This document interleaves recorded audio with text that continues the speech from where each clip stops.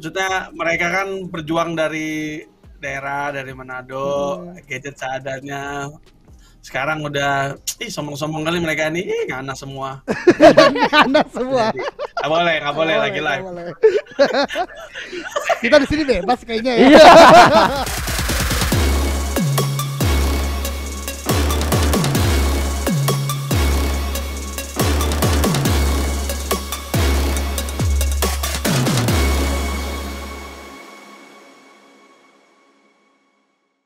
Luar biasa. Satu tahun yang lalu mereka masih pakai jaket itu. Nggak nyampe setahun. Enggak sampai setahun ya. Nggak nyampe setahun yang Masih pakai jaket itu, jaket warna hijau itu. betul, Sekarang betul. mereka udah pakai jaket yang baru dan akan bermain di PMGC. Iya, Wow. Satar pakai. Iya. Itu kayak jalurnya kan. Iya, jalurnya dari yang Perjalanan. hijau geser ke yang biru, yang biru iya. Tapi pertama-tama mungkin kita mau ngobrol sama Bang Pen sebentar nih. Gimana Halo. nih perasaannya nih Bang Pen? Akhirnya anak-anak yang Bang Pen apa ya? Yang Bang Pen ajak juga, kemudian juga bareng-bareng bersama ini menjadi juara nih Bang Pen di season keempat kemarin.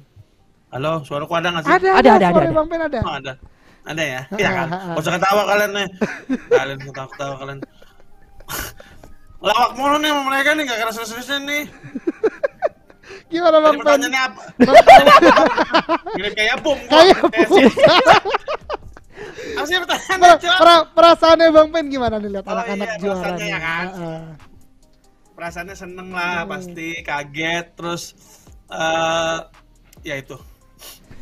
Enggak, enggak maksudnya Senang, beneran kaget. seneng, beneran seneng Sanskuy Heeh. sama Doge. Heeh. Maksudnya mereka kan berjuang dari daerah dari Manado, Hmm. gadget seadanya. Sekarang udah, ih sombong-sombong kali mereka ini, ih ngana semua. Anda semua. Gak boleh, gak boleh lagi live. boleh. Kita di sini bebas kayaknya ya. Iya. Oh gitu ya? Iya. Eh, jangan lah, jangan. itu, ya itu lah, senang lah, senang. Karena ngeliat anak-anak ini perjuangan dari awal, wah, berjuangnya luar biasa. Luar biasa. Namun kemudian seperti ini kan ada jalurnya lah, ada Hmm. jalannya. Mungkin di regular season kemarin bisa finish di posisi ke-6. Mm-mm. Kemudian akhirnya bisa menjadi juara dengan cukup dramatis loh. Iya. Karena di game terakhir tuh bisa terkejar kalau kita berbicara data ya Mm-mm. kan. Karena dua tim ini lagi kejar-kejaran banget sama NFT gitu kan. Nah, Nah, itu kalau nanti ada fun fact-nya tuh, Doge. Tanya ke mereka tuh. Oh, ada fun fact-nya. Apa tuh? Ada. Langsung Pas aja kali ya. Langsung aja. Kenapa tuh? Ada apa sih yang terjadi di akhir tuh? Jadi kemarin tuh pas gue main tuh, ya kan pas gue apa? Oh bukan gue yang dia. Bukan dong. Kan para player jadi Bang Pena. Sorry. Ah, apa tuh fun fact-nya apa tuh? Fun fact-nya ada apa sih? Satar, Booms, Daybot, Ngicil. kita stack 9 kan kemarin Mm-mm. Mm-mm. terus satu terus udah si Daibot udah nangis kan tinggal dia last man terus takutnya dia gara gara dia mati kita kalah gitu Mm-mm. Taunya pas udah di lobby si si si Satan teriak wih ini tertusun cok ini tertusun gitu Ah. Langsung gak jadi sedih. Nggak jadi sedih. Langsung gak jadi sedih. Tetap nangis, tapi nangisnya beda. Iya. Nggak nangis sedih, nangis sedih. Tapi memang kita kita juga nonton kaget ya Iya, karena iya. NFT hilang. Wah, udah kayaknya nggak mungkin kejar deh. Susah Iya, gitu kan untuk dikejar sama yang lain dan akhirnya menjadi juara gitu kan. Dan itu luar biasa lah ya karena bagaimanapun itu pasti deg-degannya parah banget sih di game terakhir. Ya benar, Hmm. pasti itu akan menjadi cerita. Betul. Namun untuk saat ini Genesis Dogma, apakah kalian sudah langsung ada persiapan-persiapan kah menuju ke SEA nanti? Turnamen Untuk internasional pertama kalian berarti Iya, ya untuk betul. SEA nanti udah ada langsung persiapan atau kalian saat ini lagi ya udah kita lagi istirahat dulu, mungkin minggu depan baru mulai ngegas lagi atau gimana tuh? ya kalau dari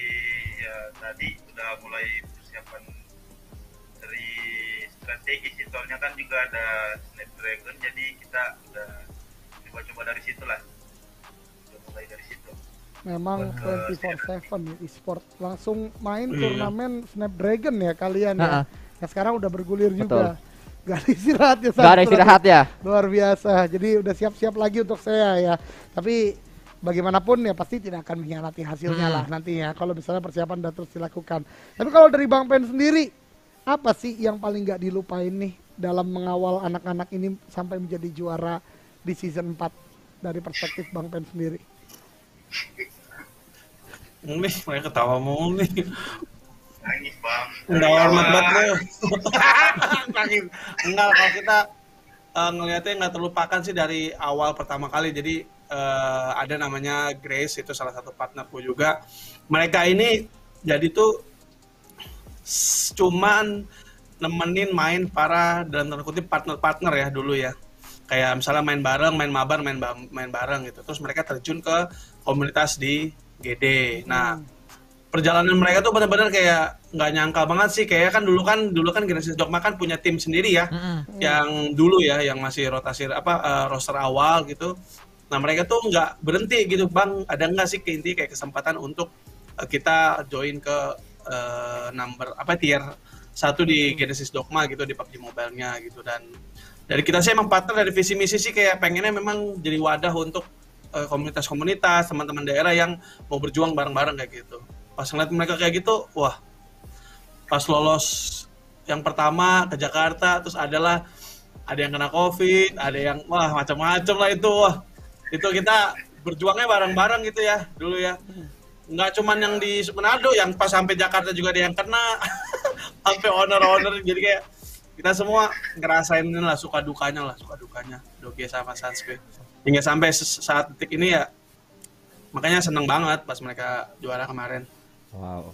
Dan pastinya perjuangan itu masih terus berlanjut ya. Masih terus. Karena mereka masih akan menantang lagi nanti Saya- kali ini nggak cuma Indonesia yang ditantang, Betul. saya dan juga nanti untuk kancah Dunia. dunianya Bahkan akan ditantang. wakil pertama Ya. ya, dari Indonesia untuk PMGC di tahun ini. Dan oleh karena kita kembali ke para player Mm-mm. Genesis Dogma nih. Oke. Nih kalau dari pemain-pemain Genesis Dogma, kalau menurut kalian ya, faktor apa yang bisa bikin kalian bisa maksimal di Grand Final? Faktor kunci apa kalau menurut kalian? Yang bikin kalian Grand Final nih bisa maksimal gitu, gameplaynya segala macamnya.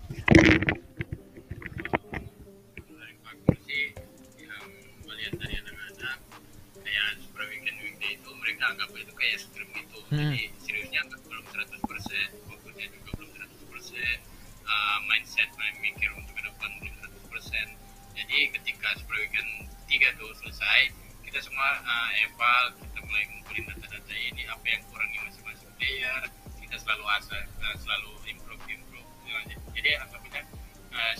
kurang dia harus sadar diri gitu. Hmm. karena di sini kita yang bermain empat orang bukan satu orang yang selalu kita ngadep, uh, ngadepin gitu.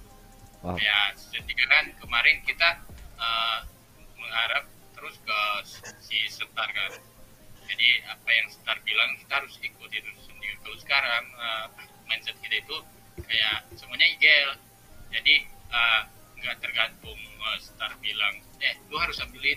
Jadi udah udah kalah uh, momen-momen yang harus dia buat ya harus gitu Oke, jadi Sobat Revival di mana pun kalian berada, jangan lupa di like, jangan lupa di share, jangan lupa di komen, tapi yang jelas di subscribe, nyalain loncengnya. Kenapa? Karena AdSense, AdSense dari kalian itulah yang membantu kita untuk hidup poya-poya ya.